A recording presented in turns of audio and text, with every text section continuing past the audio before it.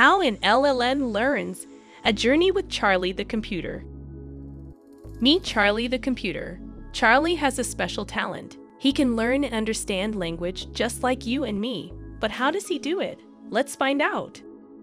Charlie is what's called a language learning model, or LLM for short. An LLM is a type of artificial intelligence that can read, write, and even hold conversations.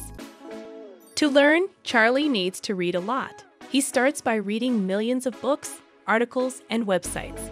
This is called data collection. Next, Charlie goes through a process called training.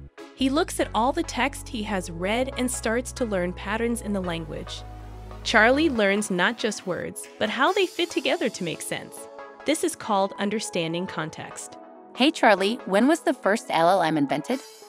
One of the earliest examples was ELIZA, a program developed by Joseph Weizenbaum at MIT in 1966.